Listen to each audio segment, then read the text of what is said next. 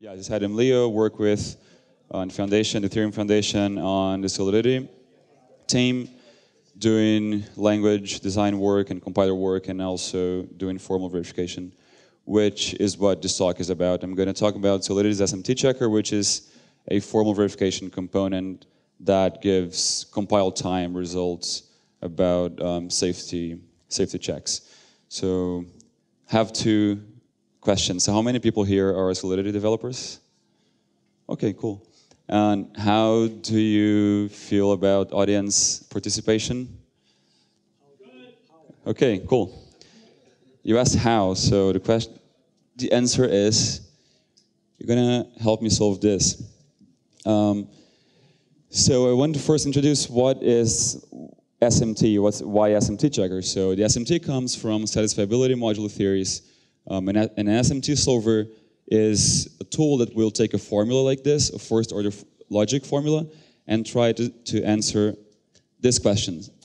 Can we find integer values for A, B, C such that um, this formula, when we substitute the, the values um, for these variables, evaluates to true? So just to we can go together over the formula um, just to give a little bit of context to whoever is not familiar with um, logical connectives and these kind of things. Um, okay, so it's a Boolean formula, right? It's a conjunction of constraints. So this formula kind of returns true or false, right? A Boolean value. These constraints are satisfiable together or not. So first we have this part of the formula, which basically says it's kind of like a function definition, right? So there's a lot of syntax abuse here, but we're going to ignore that for now. So this says that for whatever x, f of x equals x times 42. Okay? Then next we have two constraints over the input variables we chose. So we're saying that a has to be greater or equal b, and b has to be greater or equal c. And then last, we, we applied function f we defined before over a and C saying f of A has to be greater or equal f of C. So now the question, again, can we find integer values that evaluate the formula to, to true? Yes. Um, okay, can you give me values for ABC? Um, no. but basically, um, the right part says um, f for A has to be larger than f for C. Yeah, so now you told me that it's possible, right? It's possible to give values for ABC such that the formula is true. Zero, zero, zero. Does that work? It works, right? Zero greater or equal zero, true. Same thing for BC. F of A zero, F of, e, F of C zero. It's true, right? But well, unfortunately, that's not the one that I had here. So anyway, so this one works, right? Also, this one works and this one works. Um, how many do you think, how many solutions, how many different sets of values for ABC do you think we can get for this formula? Infinite, right? Um, now, a slightly different question. What happens if we change this, if we change the comparison of f of a and f of c to this? And repeat the question. Is there a set of values for ABC that make the formula true. So there's a consensus saying no, and that's correct. And when that's the case, we say that the formula is unsatisfiable because there's no set of values that satisfy the formula. So in the previous case, it was satisfiable, now we have unsatisfiable. And why did I choose this formula? I could have chosen many other formulas. So the reason um, is we can read this formula in many ways, right? It can be just a logical formula, but this formula happens to, we can, we can also read this formula as this part here highlighted right now being a property we want to prove about a function, right, application of the function. That part being local constraints, say on, on input variables, and here basically a function definition. So this is basically how we just proved correctness of this smart contract. Um, here we have a function definition, which um, would be encoded in the SMT language as the first uh, term of the, of the conjunction. Here we have two local constraints, right, that evaluate, that are encoded, sorry, um, as those, those two constraints. And here we have the application of the function. But you will probably notice, notice right now that in the code I have assert f of a greater or equal f of c because it's a property I want to prove, right? Um, and here in the logical formula that we give to the SMT solver, it's actually less than, so it's the opposite operation, right? The reason why we actually ask for the opposite is if this is unsatisfiable, if we try to prove the negation of the property and the solver says it's unsatisfiable, this means that there's no behavior, there's no values for local variables with that encoding that actually break the assertion, right? So in this case, the solver will tell me it's unsatisfiable, which means the assertion is safe. Again, because there's no way you can go through the program and break the assertion. So for all cases you can ever come up with, the assertion is true. But let's change a little bit. So is that assertion true? Is that assert correct for every input? It's not, right? So for our query to the SMT solver, um, we negate the property, right? So I want to find values. I want the SMT solver to give me values for my variables that actually break the assertion. So I want f of a to be different from f of c. And in this case, the solver will tell me it's satisfiable, and here are some values. And this is exactly the output that Solidity compiler will give you at compile time when you try, when you run exactly that code. So here we see that compiler will say assertion violation happens here for this assertion for A1, B1, C1, C0, sorry. So the SMT checker as a summary after the example as you saw, it's a SMT based, so we use SMT solvers, so it's an SMT based smart contract formal verification framework. Um, it's built in the compiler, which is uh, for us one of the one of the big advantages um, compared to other ways to formally verify your code. Um, the way it works, the way the approach, uh, our approach is that we encode program logic from Solidity into SMT statements and use SMT solver to run those queries that I just mentioned. And we use those to check for assertion failures, overflow, underflow, um, trivial conditions, unreachable code, and all of that happens automatically when you run the compiler. Um, one characteristic of this approach, which is close to from the formal verification community, called bounded model checking, is that this approach is sound but not complete. And what that means is, if it's sound, which this approach is, whenever it says the assertion is safe, it is actually safe. But whenever it says the assertion is not safe, here's a counterexample, it might be, that might be not true. So you might have to verify it and see that this, this might have been caused by an abstraction of some unsupported features or functions, which is the case um, for our approach. But then being sound but not complete also gives advantage that it's pretty fast and light compared to other approaches. And it gives useful counterexamples because it's applied directly on Solidity code instead of EVM bytecode, which then you would have to map back to Solidity program variables, which um, doesn't necessarily work. So here are some other um, frameworks that have been um, already uh, in, in the ecosystem for, for some time. Um, in the EVM formal semantics side, you have ETH, Isabelle, and KVM, which are, uh, well, KVM especially is pretty established um, as a really good framework for, for, for formal verification of smart contracts.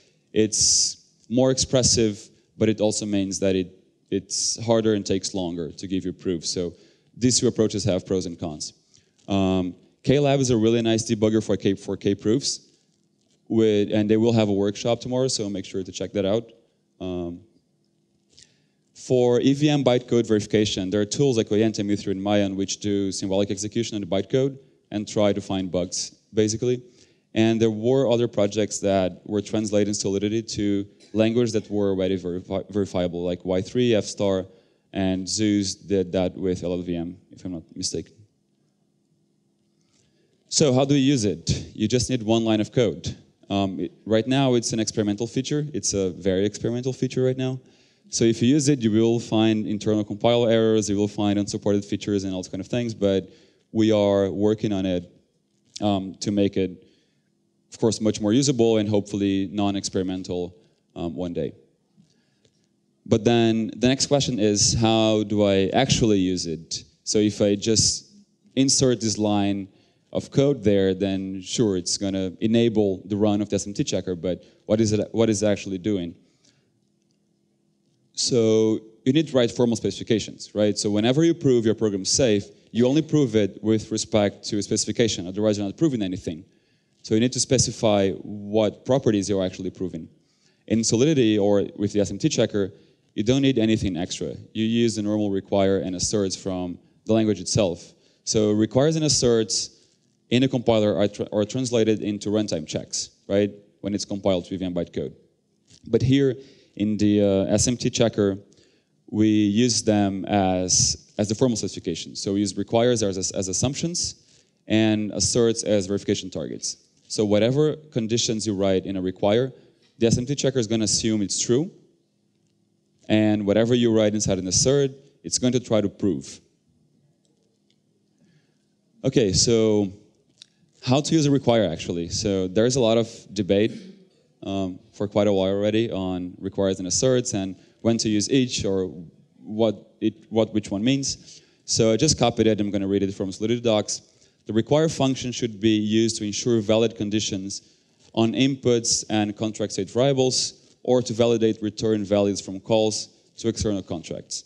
So here in this example, we have a contract that has a state variable A, a bunch of functions G and H, which suppose like that we don't know right now what they do, and we have this function f that takes an integer x. So here we're using requires requires to filter values for a and x, right? So we want for some reason a to be zero and x to be less than 100.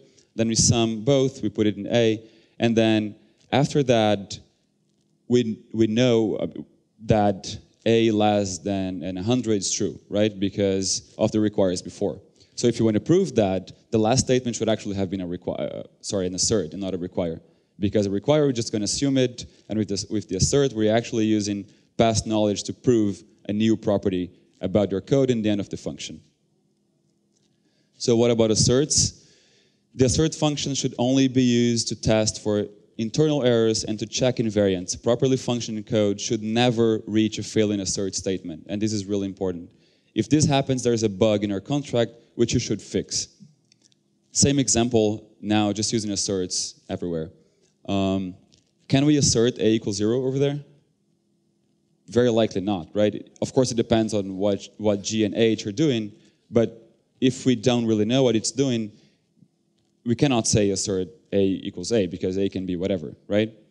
And especially for x here, if you say assert x less than 100, it's a public function. So anyone can call this function with x equals to 100, and your assertion is already wrong, right? So this is really important to notice. Like you should only assert things that you're really sure are true at that moment for every single execution path that reaches that point. Um, and here, um, the assertion is cor correctly placed at the end because it's a new property you're proving. Yeah? Uh, does, does the checker use uh, modular verification? So, does it, A is a, is a state variable, will it assume that any value could be in there? Yeah, at this moment, yeah. So, for example, when you have, I'm going to talk about this later, but if you call an external function, for example, which you don't have control over or don't know the code, then when the function comes back, we have to reset all knowledge about state variables, right? Because you might have this contract you called might have called your contract back, which changed A, so you can't really keep the knowledge about it. But yeah, about modular verification, one of the research goals that we have is to actually infer properties from different functions and see what state invariants we can come up with automatically. This is not done yet, but it's on the to-do list. Um, what about false positives? So I mentioned earlier that the approach is sound. So if it says it's safe, it's safe, but it gives counter, it gives false positives, which is basically false counterexamples. So your assertion might be correct and safe, but the tool says it's not safe. Why does that happen? It happens because we have to abstract the encoding sometimes. So for example, for complex types and functions, say like cryptographical functions, we it's not our approach is not expressive enough to actually implement it. So we have to use symbolic variables on um, on the application of the function, and that's as far as it gets. So we don't really know what the actual value of the function call is going to be. So these abstractions might lead to false positives. Also, if you call external function, if you do, if you yeah ex call external functions, we might have you. We do clear the knowledge after the call after after function call. So it might not have been the case that the that state variable a got rewritten, but you never know. So to be safe, again, we have to clear the knowledge. Also, with contract state invariance, you as a developer of the contract might know that certain properties are valid throughout your contract, but the SMT checker is not yet smart enough to um, deduce those properties automatically. So. Um, and one point that I wanted to mention in this talk is you can actually help the SMT checker. You can help the tool to actually find the proofs. And it's a very simple way to do it. You can um, flood your code with requires.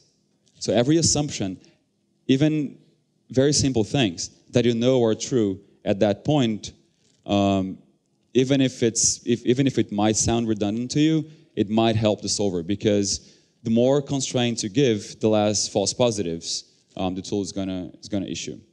So I'm gonna run a couple examples right now. Um, I think I have like eight minutes.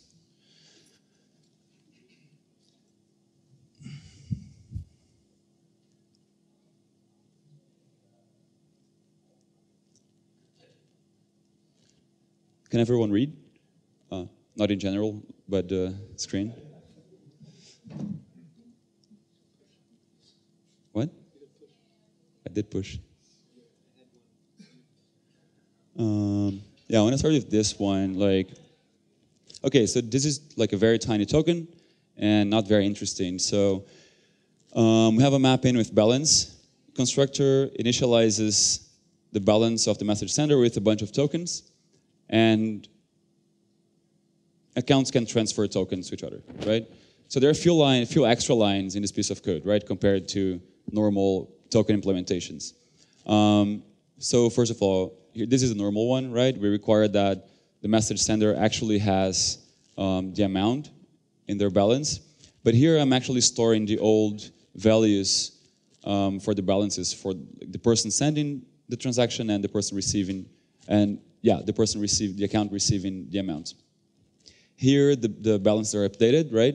And here you have an assertion that says that the sum of the balances before the transaction, before the operations have to be equal the sum of the balances after the operation. Oh, sorry. Yeah, this should be the right um, assertion, but I wanted to break. So, uh, okay. So here the tool tell the compiler tells us the assertion is broken and gives a bunch of values for for our, our variables, right? So, but there's something weird, right? So it's saying that it gave zero to both to and message sender, which commonly people prevent, right? So we can just add that here. Um, I want message sender to be, oh, this is actually not going to work. So I'm just going to say they have to be different. It's fine if they're zero. So, okay, now it changed, right? So two went to one, before it was zero. Message sender is still zero, but that's fine because they're different. And the assertion is actually saying that the balance before was greater than the balance right now, which means that some tokens vanished, right? So the assertion is basically saying every time there's a transfer, tokens vanish, which hopefully is wrong. And the tool says it's wrong. You can see balance from plus balance to um, is actually the same as balance of zero and, uh, plus balance of one, which are the accounts. So if we actually fix the assertion,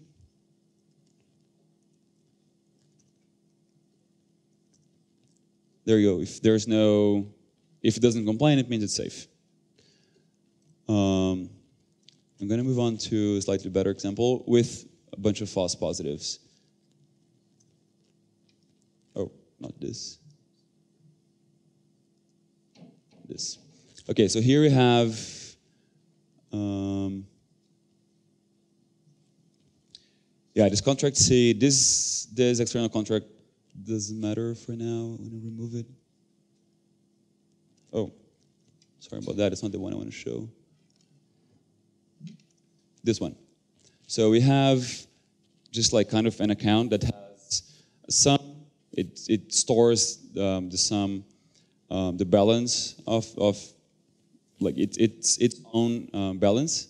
And here it counts how many transactions, um, how many times the fallback function was called, increasing the value, increasing the balance of this account. So here we have the fallback function that says um, that the, the value sent has to be greater than zero. And this is just to uh, give a constraint and avoid, and avoid overflows later, um, requiring that this account cannot have more than 1 million. The balance cannot be greater than 1 million. So here we just increase the sum and increase the count, right? And here we have a function called average that computes the average, um, the average value that was sent per transaction. All right? So here I put this require because if, if there was no transaction, doesn't make sense to compute the average. But here we have, an, so here we compute the average and we assert that the average has to be greater than zero, right? Because if you did have a transaction, because of this line, we cannot, we cannot, we don't count zeros um, in a transaction. So the assertion is true. Agreed?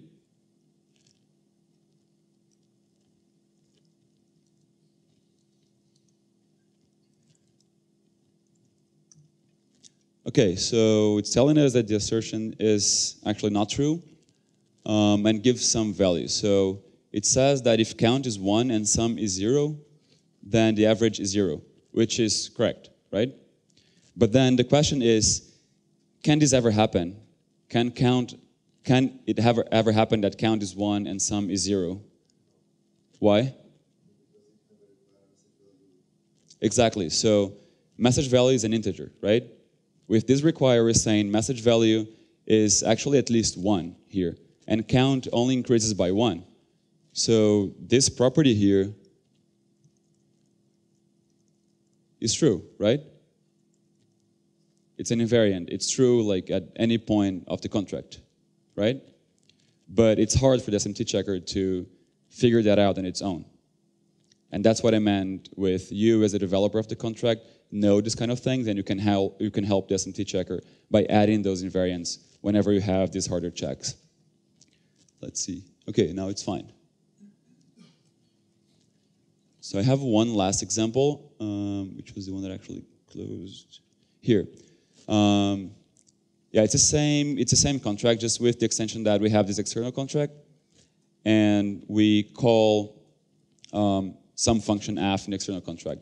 And what's, what happens here is that when we call the external function, the knowledge um, gets basically erased, and you would need to add new constraints after the after the um, after the function call. You would maybe even need to repeat um, constraints to um, in order to help the solver to actually prove it and not get false positives.